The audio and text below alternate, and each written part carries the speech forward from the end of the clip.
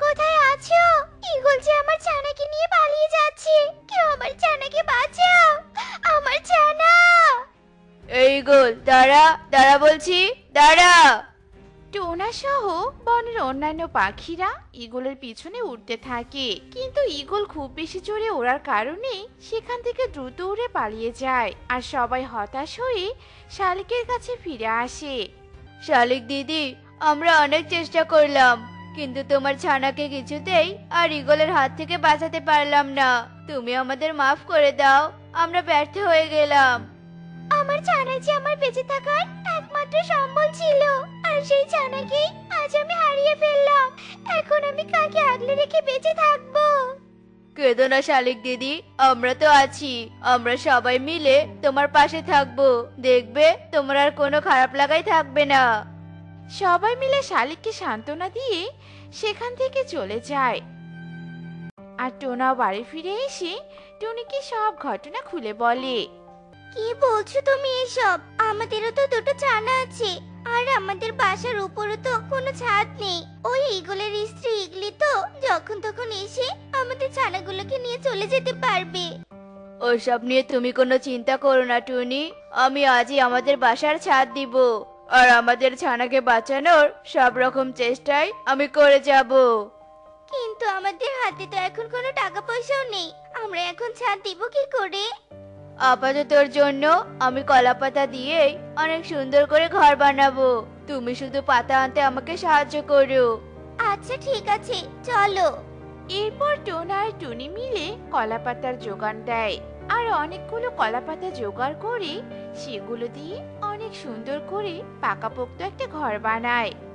ইয়ে কি মজা কি মজা। আমরা এখন পাকাপোক্ত ছাদওয়ালা বাসায় থাকব। আমাদের মাথার উপরে বৃষ্টিও পড়বে না রোদও লাগবে না। তাই না বাবা বলো?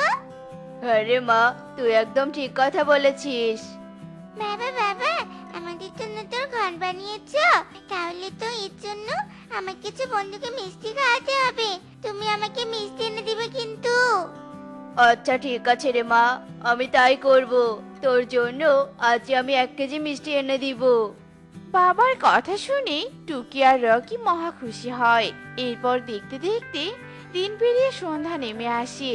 আর টোরাও ছেলে মেয়ের কথা মতো মিষ্টি নিয়ে বাড়িতে হাজির হয়।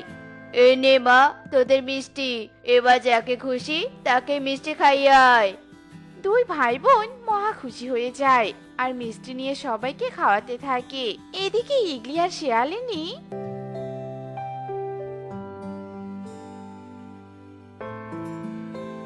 বন্ধু তুমি কি খাবার খেয়েছো?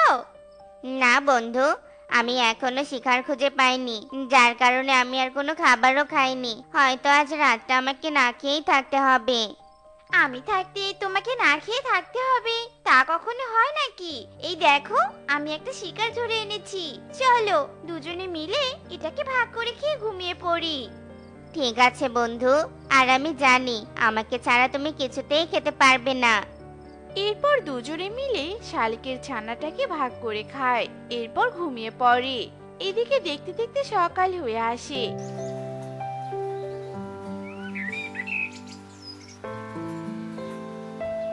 আর দুজনে উঠে শিকারের খোঁজে বেরিয়ে পড়ে।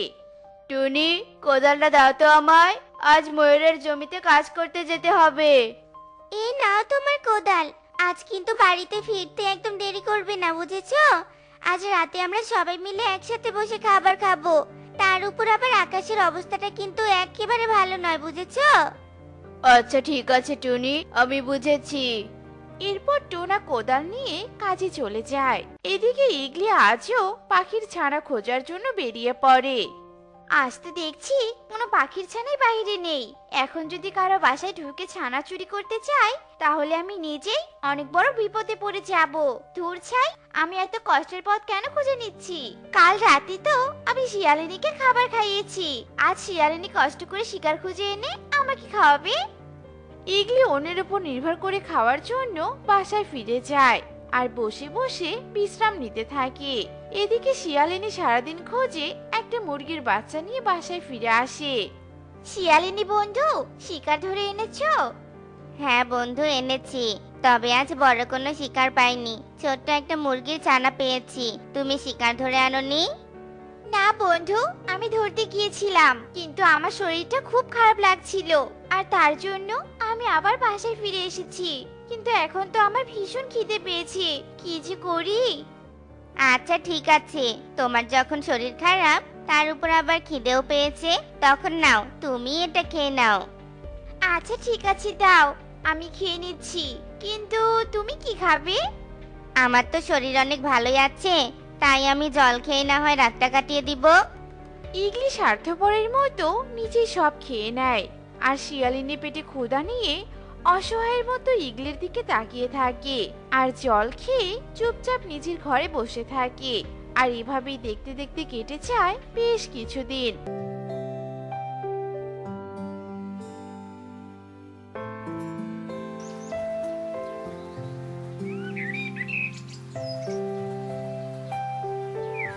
হঠাৎ একদিন ইগলি দুটি ডিম দেয় আর শিয়ালিনী আগে থেকেই গর্ভবতী ছিল।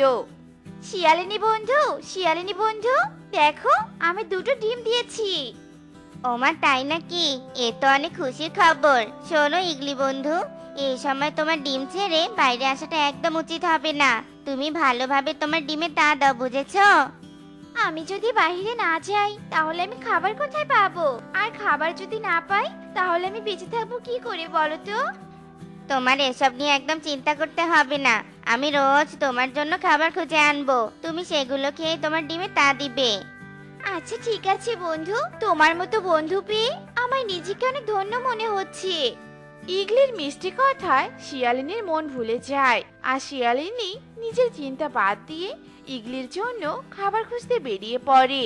আর অনেক ত্যাগ স্বীকার করে ইগলির জন্য খাবার জোগাড় করে এনে দেয়। আর ইগলি সেগুলো স্বার্থপরের মতো খেতে থাকে। গর্ভবতী শিয়ালিনীর কথা একবারও চিন্তা করে না। আহ খাবারগুলো কি মজা। তোমাকে অনেক ধন্যবাদ বন্ধু। ঠিক আছে বন্ধু। আর ধন্যবাদ দিয়ে ছোট করতে হবে না। ইগলি এতটাই স্বার্থপর যে কখনো খাওয়ার কথা শিয়ালিনীকে জিজ্ঞাসাও করে না। আর এভাবেই দেখতে দেখতে কেটে যায় বেশ কিছুদিন।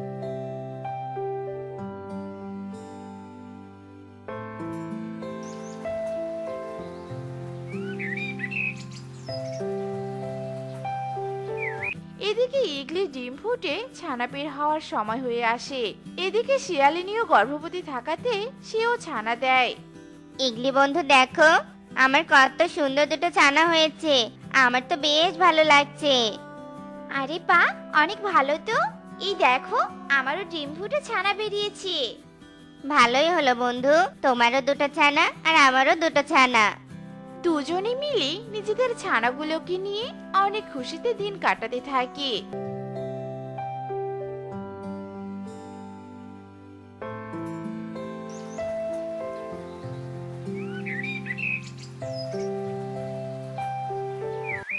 এগলে বন্ধু আমি খাবার খুঁজতে বাইরে যাচ্ছি। বাসায় আমার ছানাগুলো একাই থাকল।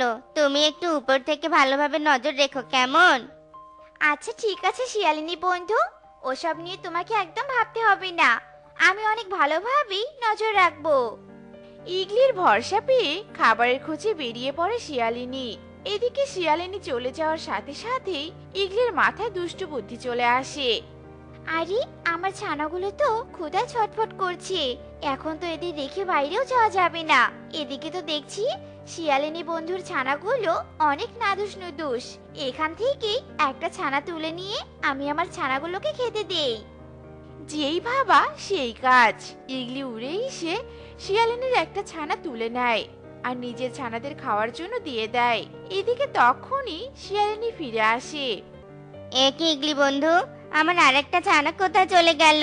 আমি তো তোমার উপর দায়িত্ব দিয়েছিলাম আমার ছানাগুলোকে দেখতে। আর তুমি কি তাদের দেখে রাখোনি? ইগলি উত্তরে কোনো কথাই বলে না। এদিকে ইগলির বাসা থেকে কান্নার আওয়াজ ভেসে আসতে থাকে। তা শুনে শিয়ালিনীর আর বুঝতে বাকি থাকে না যে ইগলি তার ছানা নিয়ে নিজের বাসায় রেখেছে। ইগলি বন্ধু আমার ছানাকে ফিরিয়ে দাও। তোমার ছানাকে ফেরত দেওয়ার জন্য তো নিয়ে আসিনি? আমি এনেছি আমার ছানাগুলোর পেট ভরার জন্য। দেখো ইগলি বন্ধু, আমি তোমার অনেক উপকার করেছি। কখনোই তোমার কোনো ক্ষতি করিনি। তাই এভাবে তুমি আমার ছানাকে কিছুতেই মারতে পারো না। ইগলি শিয়ালিনীর কোনো কথাই আর শোনে না। কোনোভাবে শিয়ালিনী যখন পেরে ওঠে না, তখনই মনে মনে একটা বুদ্ধি বের করে। আর আশেপাশে থাকা শুকনো কাঠখুড়ো এনে গাছের গোড়ায় রেখে দেয়। আর পাথরে পাথরে ঘষে আগুন করে সেটা কাঠখুড়োর উপর রেখে দেয় আর দাউ দাউ করে আগুন জ্বলতে থাকে। আগুনের তাপে ইগলি আর তার ছানাগুলো অস্থির হয়ে ওঠে। শিয়ালিনী বন্ধু আমার ভুল হয়ে গিয়েছে। সন্তান হারানোর কষ্ট যে কতটা কঠিন সেটা আমি বুঝতে পেরেছি। আমি তোমার ছানাকে এক্ষুনি ফিরিয়ে দিচ্ছি। তুমি শুধু আগুন নিভিয়ে দাও। ঠিক আছে আগে তুমি আমার ছানাকে দাও তারপর আমি আগুন নেবানোর ব্যবস্থা করছি। ইগলি শিয়ালিনীর কথা মতো শিয়ালিনীর ছানাকে নিচে নামিয়ে দেয় আর তখনই শিয়ালিনী নিজের হাত পা পুড়িয়ে আগুন নেভানোর চেষ্টা করে। আর এক পর্যায়ে আগুন নেভাতে সক্ষম হয়। আসলে উপকারের প্রতিদান সবাইকে দেওয়া উচিত। আর বন্ধু নির্বাচনের সময় অবশ্যই আমাদের সৎ, নীতিবান বন্ধু নির্বাচন করা উচিত। টুনি, আকাশ কালো মেঘ করে এসেছে। তুমি ছানাগুলোকে নিয়ে তাড়াতাড়ি ঘরের ভিতরে ঢুকে যাও। আমি বাইরে থেকে ঘরটা দেখে ভিতরে আসছি। টনি তার ছানাগুলোকে নিয়ে ঘরের ভিতরে ঢুকে যায় আর এদিকে বৃষ্টিও নামতে শুরু করে। টোনাও বৃষ্টির জন্য ঘরে চলে আসে আর তখনই হঠাৎ করে বৃষ্টির সাথে সাথে বাতাস বইতে থাকে আর পাতার ঘর দুলতে থাকে। ওগো, এবার কি হবে বলো তো? যেভাবে বাতাস বইছে, তাতে করে মনে হচ্ছে যখন তখন ঘরটা ভেঙে যাবে। আমাদের ঘরে যে দড়িগুলো আছে তুমি সেই দড়িগুলো আমাকে দাও।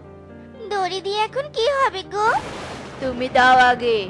আর সেই দড়ি দিয়ে পুরো ঘরটা বেঁধে ফেলে।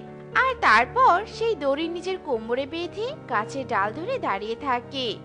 যে করে হোক আমাকে আমার স্ত্রী সানাদের বাঁচাতেই হবে। এতে আমার মরণ হলে হবে। ওগো তুমি ঘরে এসো। অসুস্থ হয়ে যাবে তো। তুমি জানালা কেন খুলেছ? ঘরে তো হাওয়া ঢুকে যাবে। আমি সময় হলে ফিরে আসব। তুমি ছানাদের দেখে রাখো। টনি টোনার কথা মতো জানালা লাগিয়ে দেয়। আর টোনা বৃষ্টিতে ভিজতেই থাকে। এদিকে দিন পেরিয়ে রাত হয়ে আসে। আর রাত পেরিয়ে ভোর।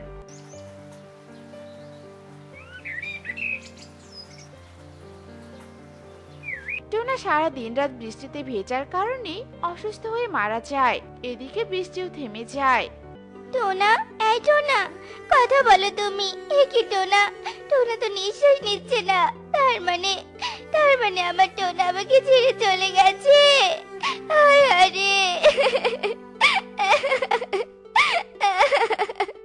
টুনি চিৎকার করে কাঁদতে থাকে। সাথে ছানাগুলোও কাঁদতে থাকে। আসলে বাবা নামক খুঁটিটা থাকি নিজের জীবনকে উৎসর্গ করে পরিবারকে আগলে রাখার জন্য। এক জঙ্গলে টোনা তার স্ত্রী টুনি আর তাদের ছোট্ট ছানা টুকিকে নিয়ে থাকতো। টোনা একজন কৃষক ছিল। টোনার সামান্য চাষের জমিও ছিল। সেখানে ফসল চাষ করে টোনা তার সংসার চালাতো। টোনার সংসারে অভাব অনটন থাকলেও অশান্তি ছিল না। ভালোই কাটছিল টোনার সংসার। গিন্নি, ও গিন্নি, কোথায় গেলে গো? তাড়াতাড়ি এদিকে এসো। বাজারের ব্যাগটা নাও তো। কি গো? কথা শুনছো না তুমি? আরে, এভাবে চিৎকার করছ কেন? এই তো, আমি চলে এসেছি। আর তুমি বাজার করে এনে ভালোই করেছ। আসলে ঘরে কোনো বাজারই ছিল না। তা বলছি, আজ আবার মহাজন সাহেব ইগল এসেছিলেন। আজকেও টাকার কথা বলেছে। আচ্ছা সে না হয় বলুক আর কটা দিনই তো। ফসল উঠলেই তো আমি ইগল মহাজনের সব টাকা শোধ করে দিব টুনি। তুমি এসেছ বাবা ভালোই হলো। তা বলছি বাবা তুমি আমার জন্য চকলেট নিয়ে এসেছ? হ্যাঁ রে মা চকলেট নিয়ে এসেছি। তুই আমার একটা মাত্র মেয়ে। চকলেট খেতে চেয়েছিস আর আমি সেটা না আনলে হয় কি করে বলতো? এই নে মা তোর চকলেট। আর ভালো কথা তুই স্কুলে গিয়েছিলি তো মা? হ্যাঁ বাবা আমি স্কুলে গিয়েছিলাম। আর আমি মন দিয়ে লেখাপড়া করেছি জানো? যাকে এখন আমি যাই বাবা মজা করে চকলেট খাব। এই কথা বলে টুকি চকলেট নিয়ে সেখান থেকে চলে যায়। আর ভালোভাবেই স্ত্রী সন্তানকে নিয়ে টোনার দিন কাটছিল। সে কি? সে কি রে মা? তুই এভাবে বৃষ্টিতে ভিজে ভিজেই বাসায় আসলি? তো তো ঠান্ডা লেগে যাবে রে মা। কি করব বলো মা? আমার তো ছাতা নেই। আর ওইদিকে স্কুলে ছুটি দিয়ে দিয়েছিল। তাই বাধ্য হয়ে আমাকে বৃষ্টিতে ভিজে বাসায় ফিরতে হলো মা। আচ্ছা মা তুই কষ্ট পাস না রে। এবার ফসল বিক্রি করে আমি তোকে নতুন একটা ছাতা কিনে দিব কেমন? এরপর বেশ কিছুদিন কেটে যায় আর টোনা তার সব ফসল বিক্রি করে দেয়। মাত্র দশ হাজার টাকা দিলেন কালু দাদা। এবার তো আমার অনেক ফসল হয়েছে। তবুও মাত্র দশ হাজার টাকা দিলেন যে? কি আর বলব টোনা ফসলের দাম যে খুবই কম। তোমার ফসল বেশি হলে কি হবে? ফসলের দাম তো আর বেশি হয় না। তবুও তো আমি তোমাকে আরও বেশি কিছু টাকা দিয়েছি। আর বেশি টাকা দিয়ে তোমার ফসলগুলো আমি কিনে নিলাম। এই কথা বলে কালু কাক ফসলগুলো নিয়ে সেখান থেকে চলে যায়।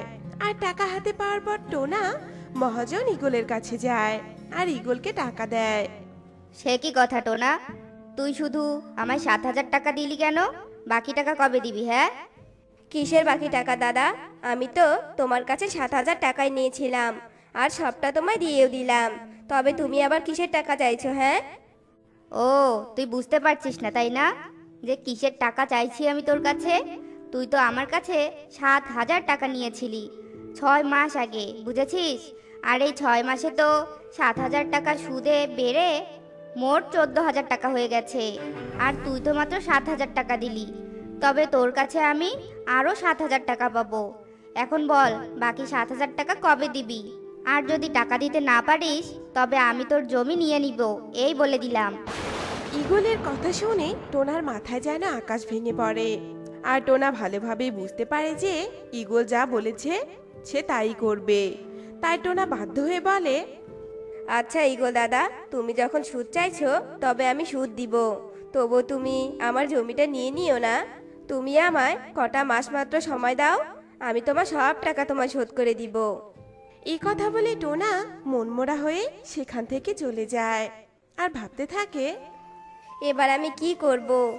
যে সামান্য এখন টাকা আমার কাছে আছে, তা দিয়ে তো মেয়ের ছাতা কিনতে হবে, আবার সংসারের খরচও চালাতে হবে। কীভাবে যে কি করি সেটাই তো বুঝতে পারছি না। তবে আর যাই হোক আমি আমার মেয়েকে নতুন ছাতা কিনে দিবই দিব। এসব ভাবতে ভাবতে টোনা বাজারে যায়। আর বাজার থেকে টোনা টুকির জন্য একটা লাল ছাতা কিনে নিয়ে আসে। টুকি মা টুকি কোথায় গেলি রে? এদিকে আয় মা দেখ আমি তোর জন্য কিনে এসেছি। তাড়াতাড়ি আয় মা। এই তো বাবা আমি এসে গেছি।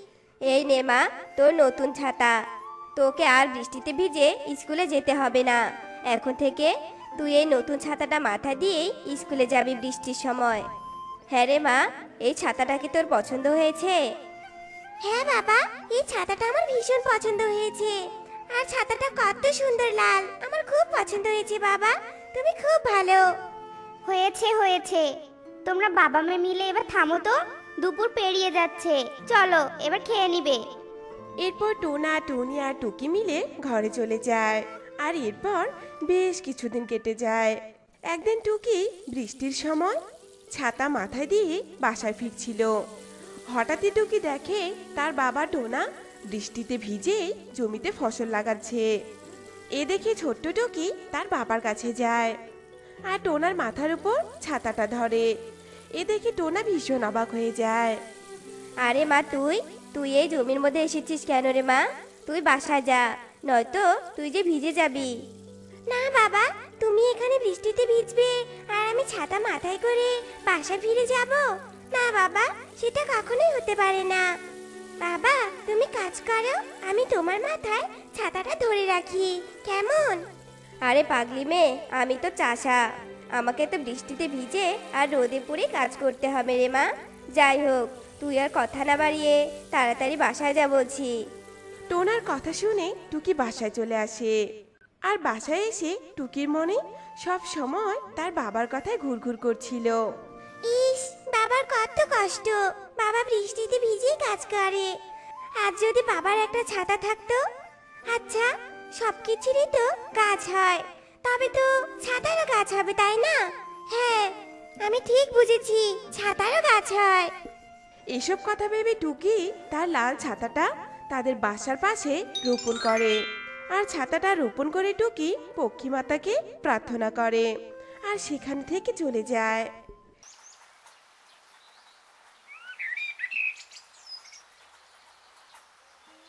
আর পরের দিন সকালে টুকি বাসার পাশে দাঁড়িয়ে দেখে একটা ছাতার গাছ হয়ে গেছে। আর সেই গাছে অনেকগুলো ছাতা ধরে আছে। এ দেখে টুকি টুনি আর টোনাকে ডাকে। বাবা, মা, দেখো, ছাতার গাছ হয়েছে। আমার প্রার্থনা পক্ষীমাতা শুনেছে তাহলে। আজ আমি ভীষণ খুশি, বাবা মা। এই ছাতার গাছ আমাদের সব সমস্যার সমাধান করবে, জানো? টুকির এমন কথা শুনে আর ছাতার গাছ দেখে টোনা আর টুনি ভীষণ খুশি হয়। এরপর টুকি টোনা আর টুনিকে ছাতার গাছ থেকে ছাতা পেরে দেয়। এই ছাতার গাছ তো আমাদের অনেক উপকারে আসবে, টুনি। এই ছাতার গাছে তো অসংখ্য ছাতা আছে। এসব ছাতার সাহায্যে তো আমরা ছাতার দোকান দিতে পারি, তাই না? আর এসব ছাতা বিক্রি করে আমরা অনেক টাকা উপার্জন করতে পারি। আর ইগল মহাজনের টাকাও আমি তাহলে শোধ করে দিতে পারব। এরপর ডোনা তার ভাবনা মতো ছাতার একটা দোকান দেয়। আর সেই দোকানে ছাতা বিক্রি করে। আর ছাতা বিক্রি করে যা উপার্জন করে, তা দিয়ে তারা ইগলের ধার শোধ করে দেয়। আর স্ত্রী সন্তানকে নিয়ে টোনা অনেক সুখে তার দিন কাটাতে থাকে।